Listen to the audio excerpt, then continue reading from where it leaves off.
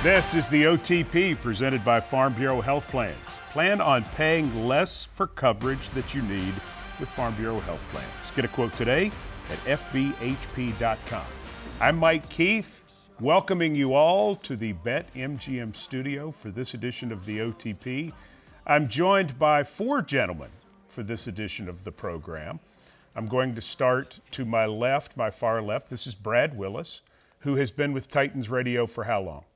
since 2001. So what, 22 years now? I guess 23 years. Oh yeah, 20 yeah. 23 years. And your day job is? I'm the executive director of the Tennessee Sports Hall of Fame. This is Rhett Bryan. You have been with Titans Radio how long, Rhett? Since its inception, Since before it was Titans Radio. 1997. Yeah. So Brett, uh, Rhett is the executive producer of Titans Radio. Brett is, yes. Brett is. It's Brett. Rhett is the executive producer of Titans Radio. This is Coach Dave McGinnis in the middle, in the most important seat.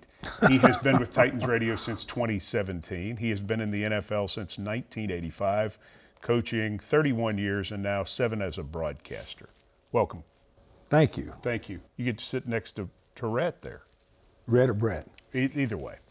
And to my right is Philip Noel. How long have you been with Titans Radio? Since 2000. Since 2000, so 24 years. And Yes. your day job is I am the 911 director down in Bedford County, Tennessee. Bedford County, Tennessee. Well, we're glad you're all here. Uh, to start you with a question, I have been asked multiple times this week was last Sunday's game where the Titans fell to the Colts the most bizarre game you have seen in Nissan Stadium? Your answer to that, Philip, would be Um, I mean, with no real time to think about it, it's very high on the list. If I mean, it's it's got to be top three, right? I would think so. Yeah. How about you? Maybe only surpassed by 2006 against the New York Giants. The fourth quarter comeback. Yeah. 24 points in the fourth quarter. That might be the only game that I would at Nissan Stadium At Nissan Stadium. that I would put above it in sense of just wackiness. Rhett? The only other one I can think of is there was a Ravens game that ended weird. 2001 Monday Night Football. Yes. The quarterback sneak. Yeah. Coach, you haven't seen them all in Nissan Stadium. You've seen a lot of games around the league. How strange was that for everything that went on? The most strange. I, I saw things in that game I've never seen before, with a two-point conversion going the other way. Never seen that. Never been involved in the 600 plus games I've been involved in in my career. Never seen that.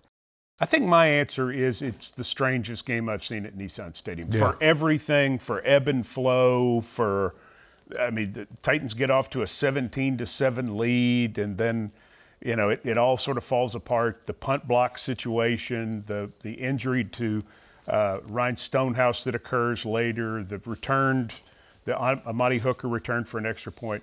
The strangest game we've ever called though, easily uh, is is where we're headed next. We're going back to Miami for the first time since September 9, 2018, the longest game in NFL history. It lasted seven hours and 20 minutes. Now, a few facts. Do any of you remember the final score of the game? I didn't. I don't. No. No. Miami won 27 to 20. I did not remember that. The game kicked off at 1:02 p.m. Eastern. The first delay due to lightning came with 111 remaining in the first half and that delay lasted 1 hour 57 minutes. Halftime was then reduced to 3 minutes and 30 seconds. Halftime. Halftime. Yeah. Second delay came with 6:47 remaining in the third quarter and lasted two hours and two minutes. So we right. so we had one minute short of four hours in delays. The game ended at 8:10 p.m. Eastern, and at seven hours eight minutes was the longest game in NFL history from start to finish by one hour and 52 minutes. In 2013, the Bears and the Ravens played a five-hour, 16-minute game. but this game, I mean, it's not even close. Seven hours and eight minutes. Rhett, you are the staff meteorologist. You love the weather. Do you remember going into that game, that Sunday afternoon, that opener in 2018 in Miami? Were you concerned about weather at all? minimally. There was, I think, a 20% or less chance of anything with inclement weather.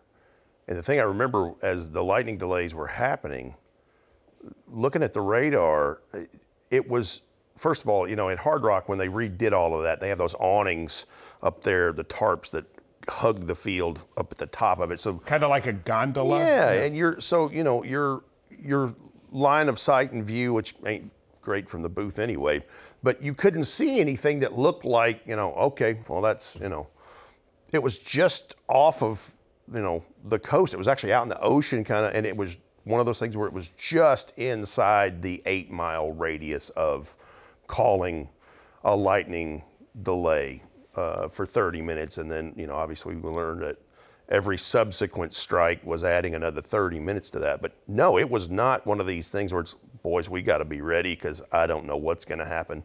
It wasn't that way with the forecast. And the weekend had started off pretty well for you guys. Jonathan Hutton, who couldn't be here because he's at a wedding, he informed me you guys went deep sea fishing the day before. We did. Is that true? The evening before. The evening before. Evening, yes. So you had gone out that night and decided, to, and didn't you catch a shark? We were on. No, I, I didn't. No, it was. He I, had one on the hook. Tried. So we're we're fishing with balloons. These big balloons that act as, I guess, big bobbers, if hmm. you will. okay. So you you throw it out, and when the large fish takes it down, the idea is the the balloon explodes, and that's the coolest part. It's like a mortar hitting the water. Mike, can I say uh, something? Sure. But we had one on, and, and they strap you into the barber chair, and then it. Yeah, didn't they? They literally strap They, you they into do. the chair. They do. Yeah. Yeah. Can I add to that Belts and- story? Sure. They didn't invite me. Well, they didn't tell me. I, di- I just found out about this when I talked to Jonathan. He said, Now you have to bring up the story because I think there was some feeling of regret about 6:30 Eastern time on Sunday night that you guys had. Oh yeah, absolutely.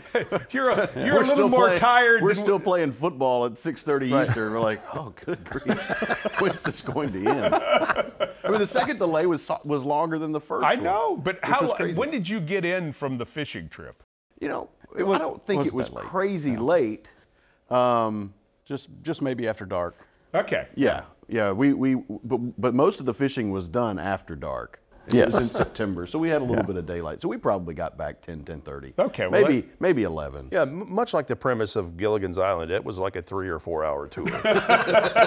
um, you know what's crazy is he did have a shark on the line. Yeah. A- And the only reason we knew is when we pulled the line up and the piece of the bait still on the hook. I mean, it was scary looking. It looked like it had been in ta- contact with a buzzsaw. Okay. It's like, okay, clearly something. But yeah, we did catch some fish that Phil was. Phil was the only one that caught like anything of, of note. I can't. What would you call that? Uh, it was a kingfish. Kingfish. Yeah. Yeah. So, so you guys have a little backstory to this story of us staying on the air. Let's let's get to the first break in the action. A minute eleven to go in the first half. I remember being really confused about what they were talking about, trying to get the picture of what the discussion was with the officials on the field. Do you remember who the referee was? Was it Jerome Boger? Yes, it was Jerome Boger. Absolutely. Yes, so confusion was part of it. Now retired. Um, now retired. So we were confused about that. What do you remember thinking, Brad, at the moment you knew we were going to a lightning delay? Well, first of all, you start kind of surveying the situation because you, you're. I just remember thinking in that moment, I'm glad we have a plan, because that was the thing that I thought really kept us from veering off the rails too quickly. Was is that in the weeks leading up to it, we'd kind of all talked and sat down and like come up with something and said, if the weather at any game at any location, because anytime you're in the preseason, you're playing in August, you know it's summertime, these blow up, you know, storms happen. Not that we were necessarily like prepared for something to happen in Miami, but we had we had a plan, and I just remember at the time thinking, okay, I've kind of glanced at this plan once, maybe twice, but now we're actually going to do this thing. So let's just start. And you know, the biggest thing was is can we just find out how long this is going to be? I mean, do we have an idea? And the thing about it was is we never really did. You know, it's you know that once there's a strike, it's 30 minutes, you know, automatically. But um, you know, once that process starts, and to Rhett's point, the way that the stadium is constructed, I mean, there were times when you, I don't even think it was raining. You know, Right. like you would look and you're like, it just kind of looks hazy out. So it was hard to get your head around, you know, just what this process was going to look like. Of course, then my second thought was, where's Rhett? He'll know because he, you know, he's probably already pulled up a radar somewhere and has a pretty good idea of, you know, how far this is. And at that point, you know, it's everybody dig in and, and you know, let's just uh, let's follow the plan. Who was talking with Stuart Spears with the team trying to get information or talking with an official? Who whose job was that? Well, uh, Amy Amy Wells was on the sidelines, and and she was the conduit of most information. Now, I don't know if Brad was texting or or talking with other folks on via phone uh, up in the booth, but the main source was was Amy down on the field. Yeah, we were getting a lot of information from the tunnel, and God Right. bless Amy's heart. Oh. You know, like she would go in the tunnel, and we would lose connectivity with her from. You know, because Miami's a terrible, you know, wireless frequency town because there's so many TV towers close by. So she would have to almost stand in a certain place and like you know hold the microphone at a certain angle before we could even hear. her. So you Put a know, she potato would, on the she would, antenna, yeah, yeah. she would come out of the tunnel into a lightning storm to offer us updates. I'm being told it's going to be, you know, X, you know, at least 30 more minutes. You know. Well, there- let's tell the Amy part of the story. Okay. Yes. Because I think this is an important part of the story. Amy is not here because she's on maternity leave. Family's great. She's coming back first of the year. We're excited to have her. We're disappointed she's not here today because, Rhett, her part of the story is really fascinating.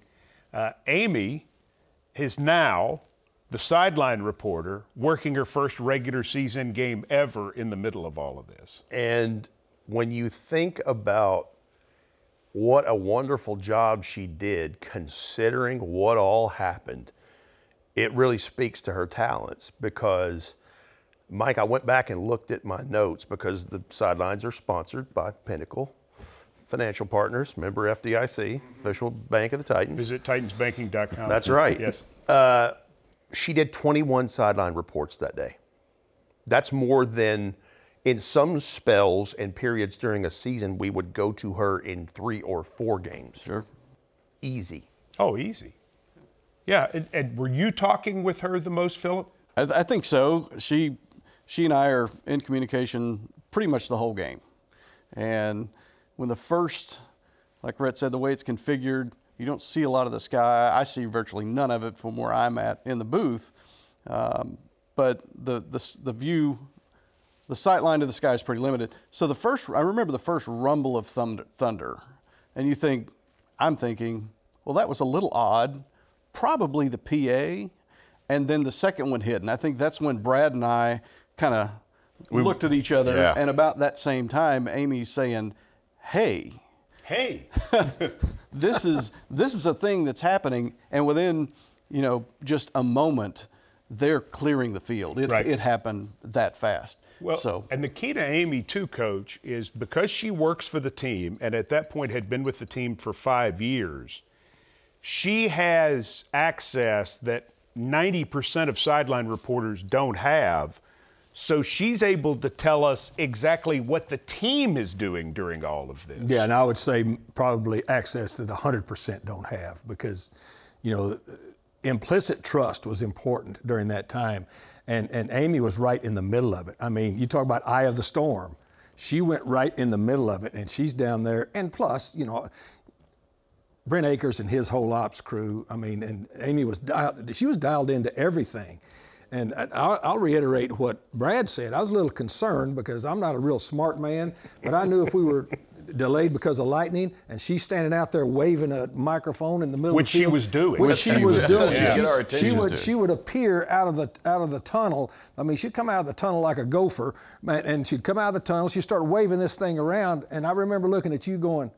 Is this a good idea? And it, and but she was going to get the story. She was. She was going to get the story, and she was going to get the information. And uh, I And was. she did. I was. I was impressed. Well, the, the incredible part is that she had all the stuff that was happening, not just from the official standpoint, but she was providing a backstory during all of this. Oh.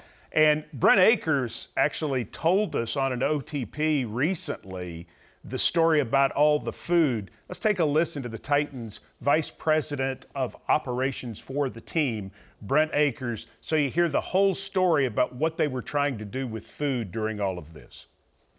I want to know what really happened when the Titans played the season opener at Miami in what turned out to be the longest game in NFL history, seven hours and eight minutes. Yes. And you had the two long delays. Yes. Is the story true that someone or someone's from the ops staff went to the grocery store to get bread and peanut butter? True story. Okay. True story. We used to carry a trunk with us full of peanut butter and jelly Okay. with all the bread in there typically, but when it happened, and I, I want to say, Mike, it was the second quarter it started. Yeah.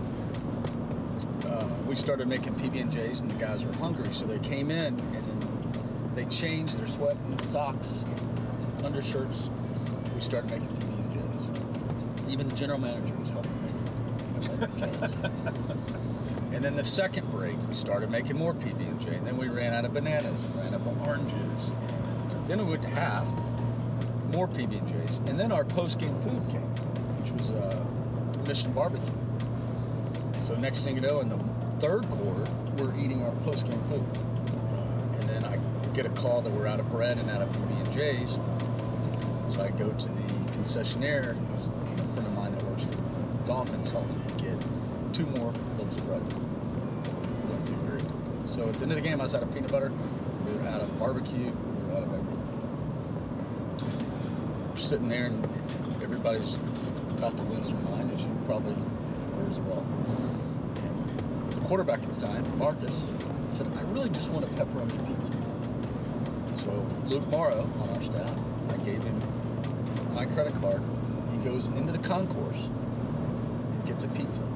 So Marcus is eating pizza. You know, maybe that was the fourth quarter at that point. Okay. And then next thing you know, players see it. I want a pizza. Oh, wow. Here we go. So next thing you know, Luke's up there and he takes a cooler and he fills the cooler full of personal pizzas. Players ate pizza. I bet Chris and I handed out 7,000 cups of water on the sideline. I've never seen anyone. I've never worked that hard in my life. Same. I think we, we feel the same way. But the story Brent told is the story that Amy Wells was telling to our Titans radio audience as we're going through our rotations. Jonathan Hutton has a rotation. I have a rotation. Coach Mack has a rotation. We're getting weather people on the air, and we're just continuing to roll through. Brad and Rhett, I want you to describe why we felt like it was important for our radio stations from a radio functionality on Sunday afternoon of why we felt like we needed to stay on the air. Well, at that point, I'd I'd been um, directing programming for the flagship for 12 years. Ended up doing it 13 years.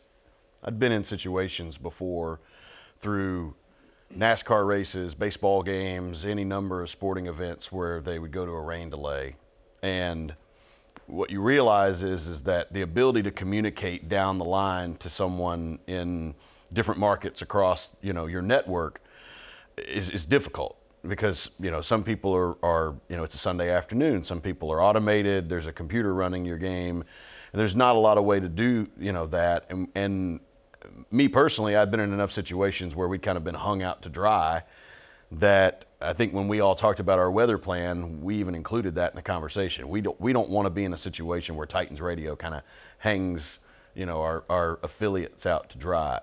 Um, so from that standpoint, and from a listener standpoint, you know, I, I, had people tell me after the fact, you know, like they'd gotten out of church and they turn us on and then they go home and they do three or four things and they're like, all right, we're going to go out to dinner. And they get in the car and we're still on the radio, you know.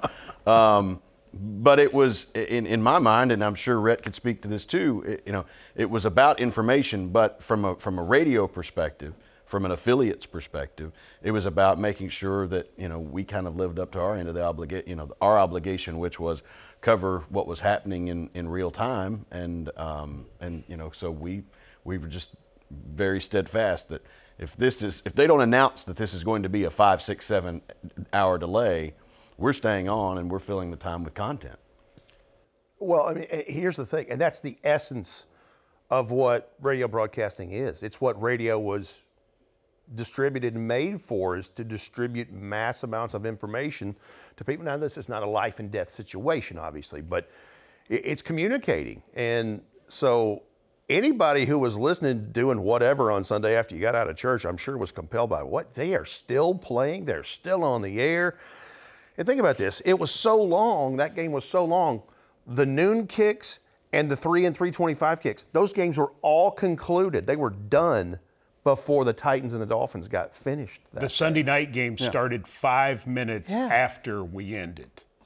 Well, that, that's the thing. It, it, TV had long since gone to do other things. They, I think they were maybe giving occasional updates, but as far as what was going on in the in the stadium, we, we were the only way that people knew how to find out what the status of our game was for the most part.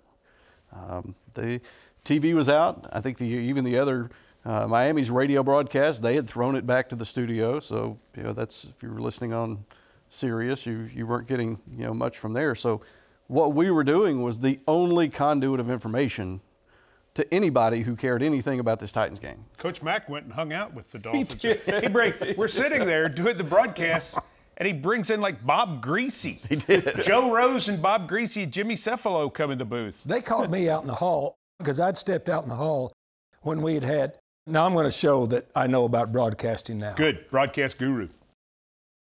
The preparation that this group made before I ever even thought about doing this.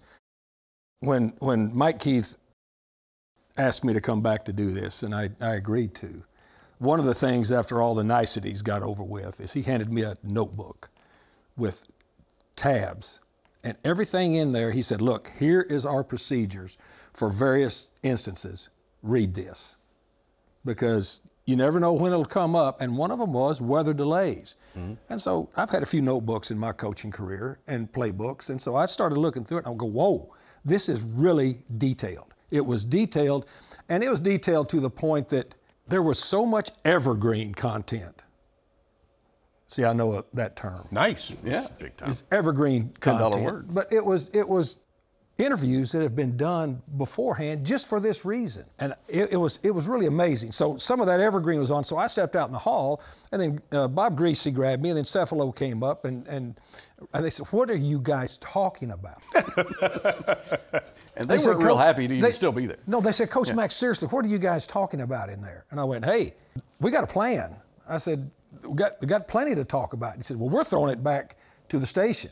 You know, we're throwing it back to the station, and you know, we're getting ready to just go hang out. And I, so I came back in, and, and when I did come back in, now we had been doing it for a while, and normally this during, was in the second delay. You the second delay, yeah, yeah, the second delay. They said, "What are you guys doing?" So, but I came back in, and everybody's hungry because they'd been out fishing all night. But, but, but, but, but and we get, caught no dinner. Yeah, but he caught no dinner. But you, you get a chance when you're broadcasting at halftime to, you know, get, get some food. And, and so I said, you know, we don't have any food. I said, I'll find some food.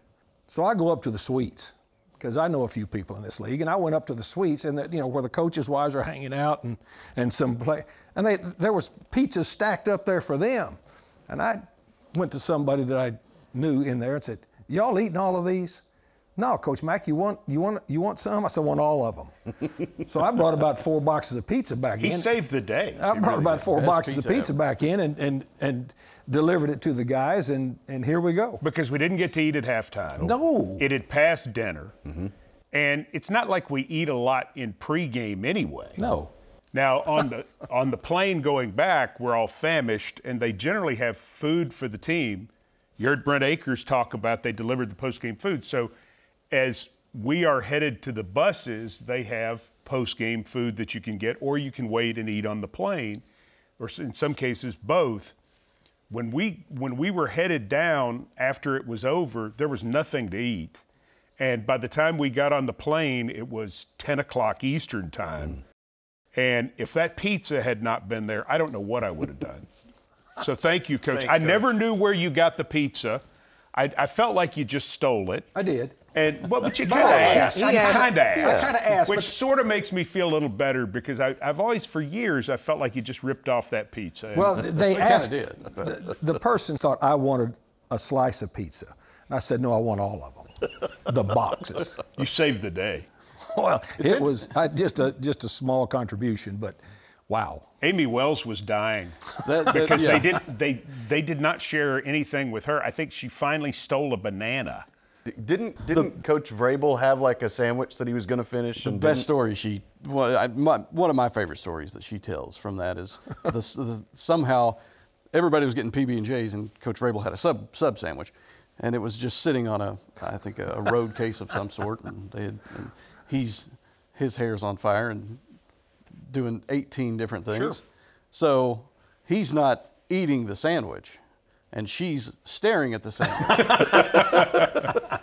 And she's probably the only one in, in the entire organization that at this point hasn't had access to food, To anything. To, to nothing. Yeah. I don't and even know. she's freezing and wet. Yeah. And she, you know, because that was one of the problems in the locker room is they come in and they're all wet because it did rain at the end of the first half. Mm-hmm. And so they're all sweaty and wet and they can get out of stuff. And the air conditioning was blowing like crazy, so they could get out of all the wet stuff. She can't. And so she's dying and she's hungry. And listen, she's incredibly grumpy when she's hungry. when She we, invented the term hangry. Oh, uh, no, I'll say it. I mean, she is. When we first interviewed her for her job, we went to a Chinese place to have lunch. And she was sitting there chatting and she was impressing us with, you know, her knowledge and everything. And we just kind of liked her. And then she won me because during the course of the end of the, the conversation, she looked at one, I think it was all guys that were with her. I can't remember who all the group was, but she looked at one of the guys and she goes, You gonna finish that? So she took the rest of his Kung Pao chicken and put it away. I said, I like her. That's. That, that's my, but so this is the person who's ha- who's wet and has had no food and and is three feet from a sandwich she can't touch. she can't touch. She Can't touch. Yeah. Because it's Mike Vrabel's first game. Right. Yeah. That's Now, right. Today, having been with him for 99 games, she would have taken the sandwich. Absolutely. No chance. That But she day. was tempted. But she was tempted. Oh, absolutely. And, and She Mike, was telling us as much. That's such a great picture to and paint. Mike, the other thing I remember about this, so at some point we're on the air long enough, Brad looks at me and goes, "We need new batteries for her stuff." That's right. And I'm like, you're exactly right. Because the belt pack, which is, you know, uh, part of the, the frequency stuff and the, the wire, wireless handheld mic, I'm like, I got to go down. And so I go down, I get, find her, we get her batteries. And I get a glimpse of what she's reporting on, what all's going on. It's crazy. So you talk about people that love weather. Of course, Brett Kern is the weather guy. And he and Ryan Succop and ah, a couple other guys were hovered around a, a tablet looking at the radar. And of course, I'm asking, hey, what's, what's the latest? What do you see? And um, they're just hanging out outside the locker room looking at the weather situation. And we get her batteries replaced. And, uh, and I get back upstairs. The other thing I'm thinking too is we, you're right. We had evergreen long form interviews that we ran. And bless him, Larry Stone, the godfather of Titans radio, knew how long we were on the air and sent us electronically some archival files that he had Yeah, he hadn't worked for us in five. We hadn't worked with us in five years. Still a friend, but hasn't worked with us in and five had some years. great stuff like uh, the the interview that he did with Mr. Adams for the anniversary of the AFL and you know all these things and that those kinds of things got us through. because we needed 10 minute breaks to reset everybody. We had a feature that we had put together in the weeks leading up that were about weather oddities.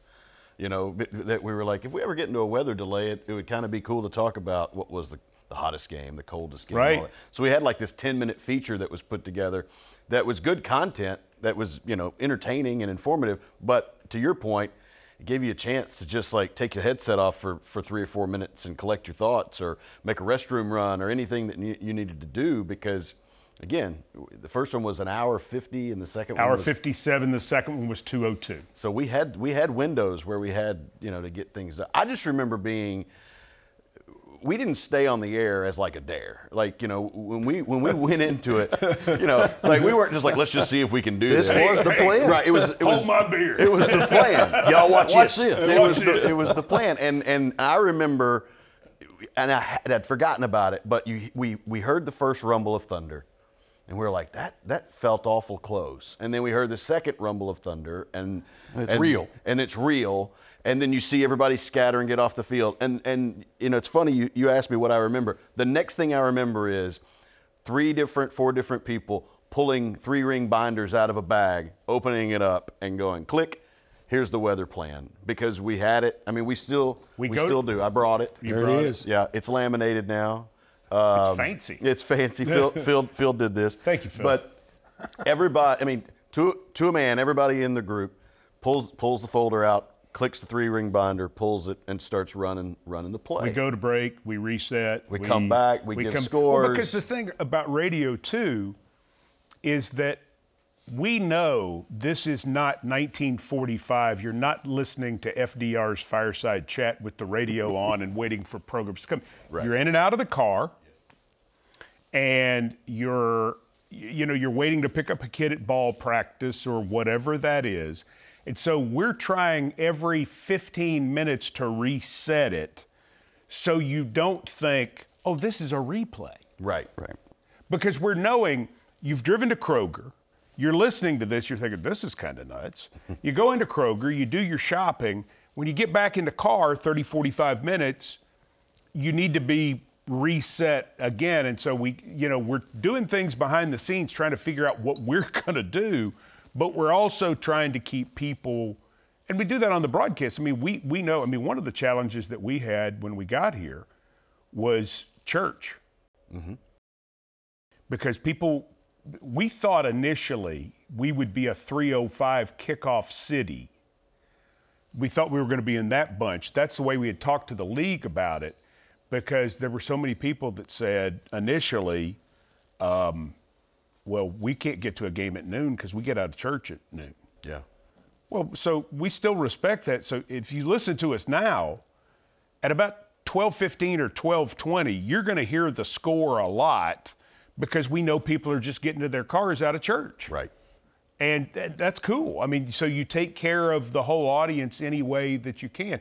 Now, what's interesting is that churches now do different services at different times. Yeah. So, it, you know, all of those things factored in, that kind of thought process factored into that day, just knowing that people are, you know, kind of doing different things. And then it became they're going to church on Sunday night. Yeah, they went to church on Sunday and came out. And came- right. And they were, done, they were done with church. They had the potluck, and they were at seven o'clock. They came out. They go, "This is still going on." I have a question for everyone here th- th- about what, what was a moment or something you remember, an oddball thing for me in this case, of like, this is really a long, this is a thing, this is a long day. And the thing that hit me was, I remember you and Mac in I don't know if it was the first delay, second delay, all that kind of bl- blends together, but you were looking at the Ring of Honor and discussing the names. Mm-hmm. Boy, Larry Little was, you know, He's a great and, guard. And I remember sitting to myself going, "Boy, this is something, man. They are." This is, but I thought it was a great idea. I'm like, hey, Phil, Phil, fill the time, fill the time. But I'm like, God, this is a, this is something else. This is really going to be a long day. Well, Mike Keith, in one of those evergreen moments, he's talking about we re- collected. He said, "Hey, Coach Mack, we come back on the air. We're going to go through this Ring of Honor." He said, "You've been in the league long enough. You can give me a little thumbnail on all these guys." And he said, just give me a little thumbnail sketch and we'll, and I said, okay. And so we started in on that. And I'm, you know, as we, as we start going through it, I'm going, I don't know how he thought of that, but that was really pretty clever to, to do that. I mean, I remember that because I'm sitting there. And the other thing that he said was, look, as we go through this, and I know we haven't prepared this, he said, play like you're interested. he said, I remember that conversation too. When we when we talk about Nick Monicati, I said, Mike, I can do it. I can. It was, but just the preparation part of it, uh, it was unusual. I, you know, I was involved in the Fog Bowl. Yes. The playoff game. Bears Eagles playoff game, which was at that time the most unusual, and, and is still one of the ones on top of the, on top of this one. But the, the game wasn't delayed because of that. This was a whole different animal we were riding then. Whole different animal. All right, so I need to remind Titans fans it's always game on with Dunkin'. So grab a coffee and kick off the action, whether that's drinking a cup of coffee on your way to the game or grabbing one to go before listening at home. Dunkin' is always there to help you get your game on. Just like the pros, we need to be at our best come game time, which is why Dunkin' is the most important part of your game day ritual because it's always the best call for football. America runs on Dunkin'. All right, so I want to throw out some other interesting facts about the game. See if you have comments on them. Okay. Uh, Dion Lewis, first game as a Titan, 16 carries, 75 yards. He caught five passes for 35 yards. Derrick Henry, 10 rushes for 26 yards, but he had a 62 yard touchdown called back on a holding call by Delanie Walker that was very questionable. Very Wasn't far away holding from the call. ball. Yeah. Uh, Each team scored 17 points in the fourth quarter. Well, that's right. Each team had a kickoff return for a touchdown. Jakeem Grant 102 yards, Darius Jennings 74 yards. Darius Jennings, that's right. It was longer than that, I think, but yes. Okay. Marcus Mariota threw two interceptions after a hit from William Big Play Hayes caused numbness in his arm. He was replaced by Blaine Gabbert, who also threw an interception. Uh, Reshad Jones for Miami had two of the interceptions. On one of his returns, Adrian Branch blindsided Taylor Lewan and knocked him out. He would miss the game the next week against Houston. A huge fight broke out. There were penalties thrown after the fact, but no penalty on the hit. Delanie Walker was lost for the year as he suffered a broken ankle, while being tackled by TJ McDonald. He would miss the rest of the season. Ryan Tannehill was playing his first game in over 600 days after suffering an ACL injury during the 2017 preseason. He threw for 230 yards with two touchdowns and two interceptions. Six months later, March 15, 2019, Tannehill was obtained by the Titans with a sixth round pick in exchange for a 2019 seventh round pick and a 2020 fourth round pick. Pretty good trade for the Titans. Yes. The 2019 sixth round pick that the Titans obtained ended up being anyone? Anyone? David Long Jr. David Long Jr., who now plays for the Miami the Dolphins. Dolphins. How weird is that? All right. Well, the circle in the National Football League Yeah. is this big. Derrick Henry is the only Titans starter who remains from that game. Wow. Wow. Linebacker Jerome Baker and cornerback Xavien Howard are the only Dolphins starters remaining from that game. Five years ago. Uh, yeah, just five years ago. Yeah. That's crazy. A lot happens. Adam Gase was the Dolphins coach. He was fired at the end of that season, which was his third. He was immediately hired by the New York Jets, where he coached for two years. Gase has not coached since, and he's still just 45 years old. National Football League. All right, here's my favorite. The Titans' strong safety in that game was Kenny Vaccaro. His sister Keeta is now married to the cheetah, Tyreek Hill. Only, only on the OTP. Only on the From OTP. Mike That's, Keith. that's the fact you didn't need to know, but I just couldn't leave it out because didn't I knew Coach Mack would give you a good you, reaction. You talk about details. We talked about this whole details. That is Mike Keith. So Mike Vrabel's first game. He goes back to Miami now for Monday Night Football in his 100th game. Um, talk, if you would, from just a coaching perspective. Has any head coach in the National Football League ever had a stranger first game and then a stranger situation leading into week two to play Houston, who is the AFC South champion, than Mike Vrabel went through in that very short period of time? No, no, and and I say that because I haven't experienced every game. I've experienced a lot of them, and I know the history of this league. But living that, you were thinking, "Wow." And you know, I'd just been a head coach, and I'm going, "How is he managing all of the things that you have to manage, not only physically, but just the atmosphere that you've got to be able to, to stop, start, and recreate after all of this? No. The answer is no to that.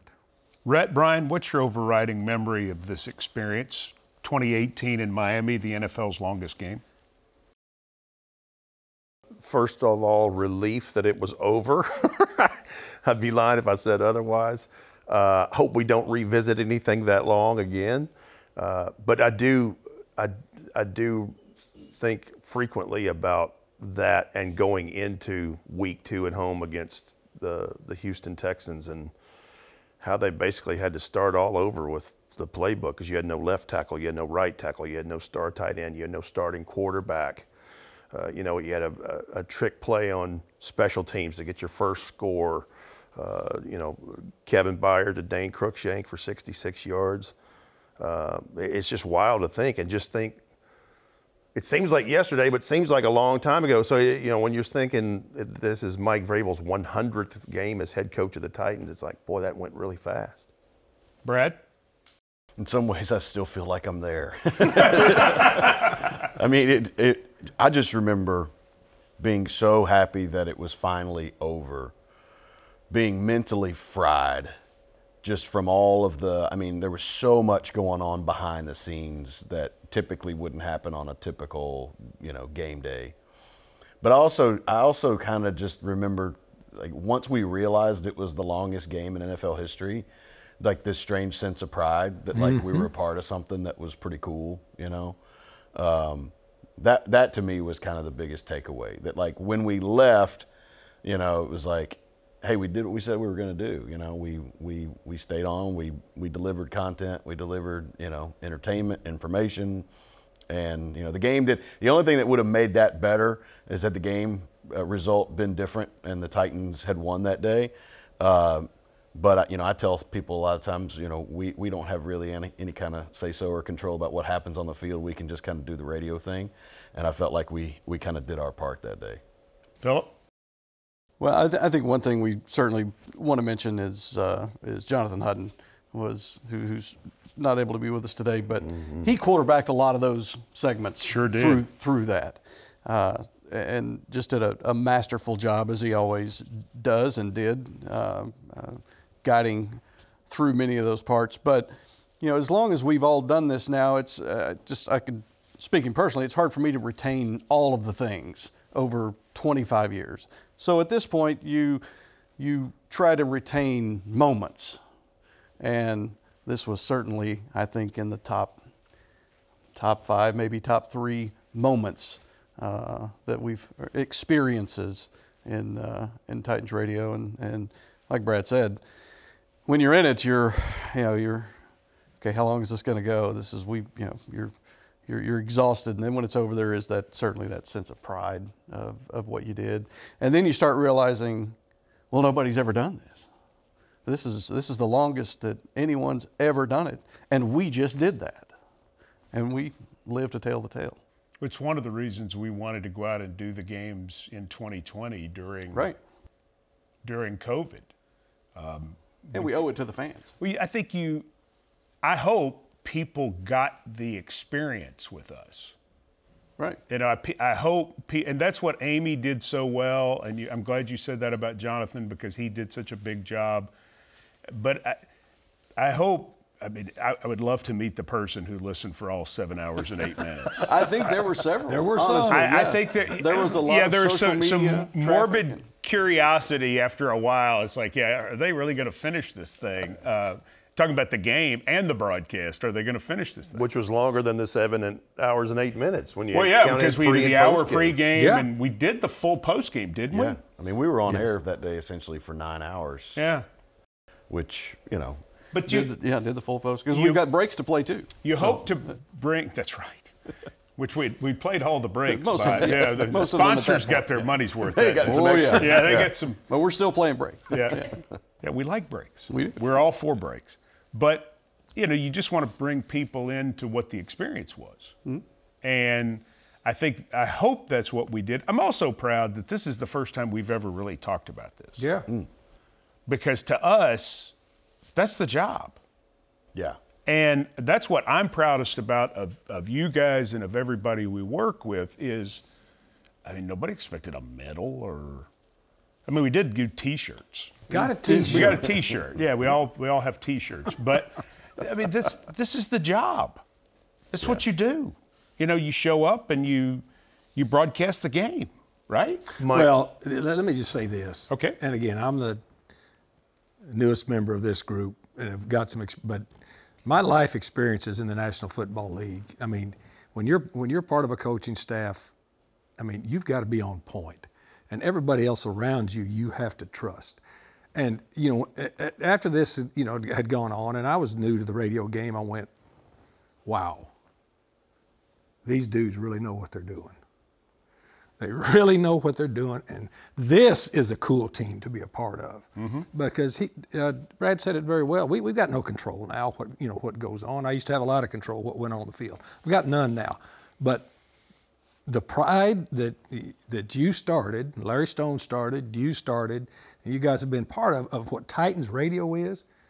It's a pretty cool thing to be a part of, and I I, I felt that leaving there too. I went, whoa, and just knowing that nobody else would have done it because there was another group that had a chance to and they didn't. So that's my Maybe point. they were smart. That's that's Maybe they were. Maybe they're maybe they're doing the official Dolphins podcast, laughing at us right now. Which I mean, I wouldn't blame them if they did. They had pizza. They had, and the other thing too that Jonathan reminded me of is we took the gear out. We went through J Lo's dance J-Lo's club, club, yeah. and We'll there were to- literally people dancing. Yeah. Uh, it was. It's a club. Yes. Yeah. yeah. there is a club club section. I'd like to think Bob Griese's doing a podcast today talking about how he got to take a nap during the longest game. That's one thing I, I remember during the, the second delay when we're really in it. I, I had stepped out of the door for a moment, may, may have gone to the restroom, I don't know, but I stepped out in the hall for a moment, and it's a really tight area Yeah, right not- there, and not- they're they're yeah. right next to us, and and you see Bob Griese, and which is kind of surreal in He's Bob. Griese. Bob Griese, Yeah. and he's at the coffee machine, and he's just he's he's Bob's not happy. Bob's a little upset that, that this thing's still going. And so then you realize, well, this is, you know, that's when that's when it kind of hit me that, well, th- I know they're not on the air anymore. They're they're coming back for updates, but we're still in it, and we're and we're we're we're fully committed. We're all in it. Um, they're not. Bob's still not happy, but Bob's missing But the he's in the. Hall of But Fame, but and he he- was on the perfect 72 Dolphins. he so, was. Yeah, he I gets mean, he gets he's a lot got of grace. that. He- He's okay. He's going to be all right. But th- that was that was the moment that it was just kind of a wow. moment. Sure. I think that is one of the things that makes Titans radio something that fans want to listen to is that everybody sitting in these chairs and the people we've mentioned in Amy Wells and Jonathan Hutton and anybody who's been on this broadcast, we all have the same goal that we want to deliver. We want to deliver what and and because we all have the same goal, there's five people here and two people not here on this podcast that it's our family Yeah. that we we all we just go dig in together Shouldn't we say something about Jordan Tinkle, too? Yes. Yeah.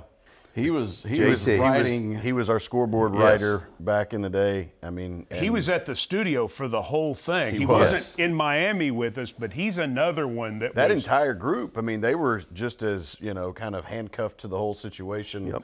You know, as we were. So for, for And they were long as- wishing they worked on the Dolphins broadcast at that point. Well, he's writing updates during the game that, that Oh, are yeah. supposed to last two minutes, and he's got you know there's a lot of content, and but and so now we're we're deep into this, and he's still writing updates with a lot less content, and For now we late need them to be five minutes. Yeah, Yeah. yeah. So yeah, he he was Yeah, he's a pro. integral part. Well, and you, sure. you just said it, and I think that going back to what Rhett said, I think there's two reasons that it worked. I think that it, I think everybody in our group kind of likes to kind of go under the mantra of just be a pro, right? And that's and so if somebody says that, guy's a pro, that's really one of the highest honors you can get, you know, in, in my mind, and I think a lot of people's mind. The thing, the other thing that I think benefited us is that this that this group really likes each other. They like being around each other. So if you stuck really us in a me. room and said, just just have a bunch of conversations and fill time. I, I don't know about you. I wasn't invited to go fishing. I was not. I, I said that at the jump of this. They're I talking mean, about he's deep talking sea about how much y'all like We're each deep other. sea Somebody didn't get invited I'm in go my room boat. eating a grilled cheese sandwich. I'm- so I don't know There's what I was doing. You want to go fishing? no, we can we can make that happen. We have been known to have a good time. And, and Mike, the all other together. the other person we should mention is is David Drobny and his staff at, at Nash Severe Weather. yeah. Yes. Wa- still one of the best follows on X, Twitter, whatever it's called this week, Elon. Um, super, super big time in keeping us abreast of what was going on with uh, what was happening with the lightning delays and the weather that day. And, And still is always there when we need him. Still, still right there, just a text or a phone call away. A friend of the program. 100%. SeatGeek is now the official ticketing partner of the Tennessee Titans. Whether you're buying or selling tickets to Titans games or any live event in Nashville, SeatGeek is the place to do it. SeatGeek, the new official ticketing partner of the Tennessee Titans, so Titans fans can fan. Um, I want to thank you guys for coming in and doing this OTP to talk about the longest game in NFL history and our experience. I wasn't really keen on doing it because of the idea that I don't ever want it to sound like we're, oh, look at us, you know. But if we're going to share it with people and we're going to share the experience, uh, we should do it on the official Titans podcast. And so I appreciate you uh, being willing to do it the, the funny, the not so funny, the in between, the behind the scenes, the time that Brad mysteriously disappeared into J-Lo's club. I don't know. I don't really know what that was all about. I'll tell you that after. Jenny That'd from be- the block. That'll be on the OTP Unofficial after Titans hours. podcast. For Brad Willis, Rhett Bride, Coach Dave McGinnis, and also Philip Noel, I'm Mike Keith, thanking you for joining us for the OTP.